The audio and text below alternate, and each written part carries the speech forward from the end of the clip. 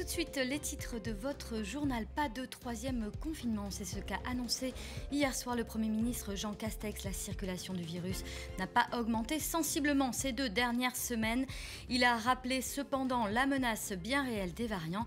Il représente désormais 14% des contaminations en France. Pas euh, de changement. En revanche, du côté du couvre-feu, toujours en vigueur à 18h, en ce jour de départ en vacances, des contrôles de police renforcés sur l'ensemble du territoire avec 30% de contrôles supplémentaires. Reportage dans ce journal au péage de Virsac et puis des inondations historiques. C'est à Marmande dans le Lot-et-Garonne.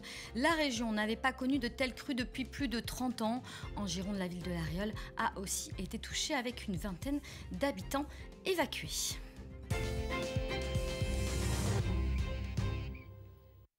De troisième euh, confinement. C'est ce qu'a annoncé hier le Premier ministre Jean Castex alors que la circulation du virus n'a pas sensiblement augmenté ces deux dernières semaines. Il a rappelé cependant la menace bien réelle des variants et la nécessité du télétravail qui doit être la règle. Concernant la vaccination, objectif 4 millions de personnes vaccinées en France en primo-vaccination dès euh, fin février. Et puis l'ouverture de 500 000 rendez-vous de vaccination, c'est aujourd'hui dans toute la France pour prendre rendez-vous au mois euh, de février. Une opération euh, coup de poing, c'était hier soir au péage de Virsac sur l'A10. Objectif renforcer euh, les contrôles du respect du couvre-feu à la veille des vacances scolaires de février. En effet, entre effet surprise pardon, et résignation des automobilistes, les gendarmes ont arrêté plus d'une centaine de voitures. Reportage sur place de Bénédicte Drouin. Normalement, il vous faut une attestation dérogatoire de déplacement pour pouvoir circuler après 18h. Ce jeudi soir, toutes les unités de gendarmerie de Nouvelle-Aquitaine sont mobilisées sur les routes. Une opération zonale qui marque le durcissement des contrôles du respect du couvre-feu. C'est un message euh, évidemment de contrôle, de vérification que tout le monde a son attestation parce qu'après 18 heures, nous sommes en couvre-feu et c'est une exigence.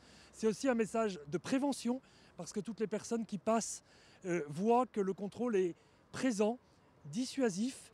Vous savez, euh, le Premier ministre vient de le redire ce soir, euh, nous avons la possibilité d'échapper à un nouveau confinement. Ça suppose d'être sérieux. Ce soir-là, 600 gendarmes vérifient les attestations des automobilistes de toute la Nouvelle-Aquitaine des automobilistes surpris par cette opération. Là, oui, parce que je sais qu'ils sont souvent là, mais euh, enfin, ils, contrôlent rarement. Et euh, là, et pour une fois, c'est vrai que je trouve qu'il y a beaucoup de monde engagé. C'est un peu inattendu en fait, parce que euh, bah, ouais, on va tous un peu à nos occupations et tout professionnelles, enfin pour les études et tout ça, et c'est vrai que c'est un peu, bah, on n'est pas forcément prêt quoi. Entre effet de surprise et résignation, les néo-aquitains restent de manière générale respectueux du couvre-feu. Depuis vendredi dernier, moins de 200 PV ont été dressés par cette unité. On reste en revanche extrêmement vigilant euh, sur les gens qui euh, ne respectent pas ces conditions. On en a et cela, il faut vraiment qu'ils soient euh, verbalisés et sanctionnés. D'autre part, on constate par ailleurs que on a encore des fêtes clandestines régulièrement sur le département et que voilà, les bons réflexes ne sont pas acquis par une frange de la population et c'est vraiment celle-là qu'on cible. Sur les 15 derniers jours, les contrôles d'automobilistes ont augmenté de 50% chaque semaine. Voilà, et le Premier ministre Jean euh, Castex sera à Marmande, dans le Lot-et-Garonne, cet après-midi à la rencontre notamment euh, des élus des communes sinistrées euh, par la crue, l'Aréole en Gironde, où ont eu lieu des évacuations préventives. La ville est toujours en alerte alors que des précipitations sont attendues aujourd'hui. Et puis à noter que sept départements sont toujours en vigilance orange aux crues en Nouvelle-Aquitaine. Conséquence de la crise sanitaire, la fin euh, de la trêve hivernale est repoussée au 1er juin au lieu du 1er avril, habituellement un sursis accordé aux locataires en situation de précarité, dont le nombre explose depuis le début de la crise sanitaire. Une mesure du gouvernement à laquelle ont réagi les acteurs du secteur.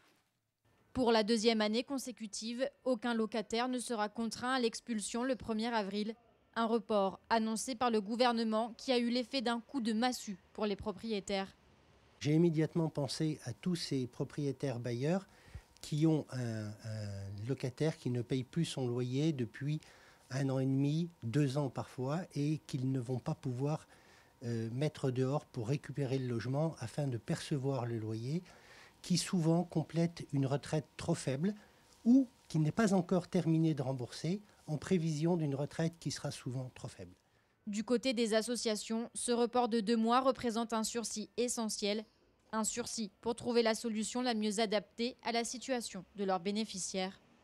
Alors, il existe des solutions de la puissance publique, l'indemnisation des propriétaires bailleurs, parce que je rappelle que même la Fondation Abbé Pierre indique qu'il faut payer son loyer, c'est son devoir de locataire. Deuxième élément, eh bien, prévoir tous les éléments d'allègement de la charge du coût que représente le logement dans les budgets des ménages. Et puis, troisième élément, proposer et préparer pendant ces deux mois les sorties quand la résolution et l'expulsion va se produire. En 2020, 3500 personnes ont été expulsées de leur logement en France, contre plus de 16 000 en 2019.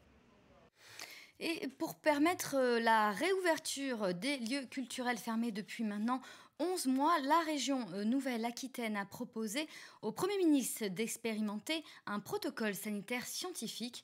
Dominique Parmentier.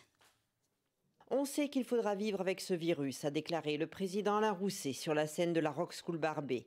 Alors avec les acteurs culturels locaux, il a pris le taureau par les cornes pour permettre la réouverture sans risque des lieux de diffusion, des salles de spectacle au festival, sans oublier les musées et les cinémas.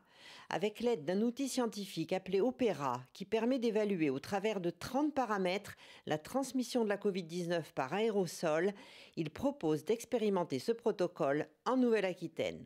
Les salles qui seront volontaires auront à leur disposition un outil numérique leur permettant de jauger ces risques et de dérisquer leur, euh.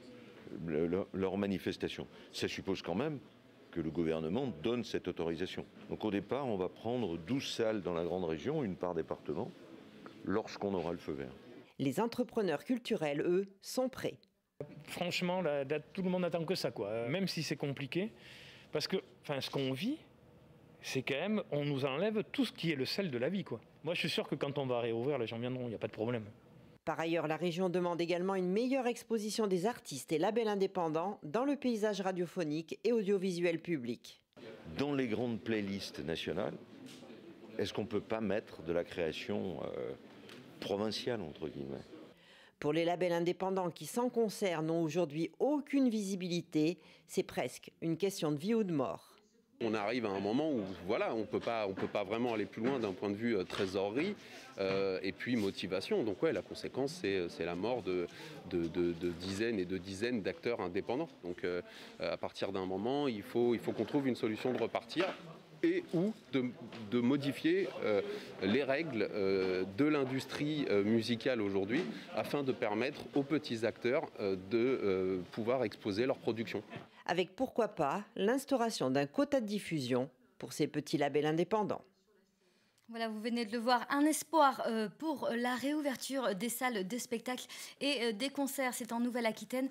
Voilà, restez avec nous euh, sur TV7, l'info continue sur notre antenne.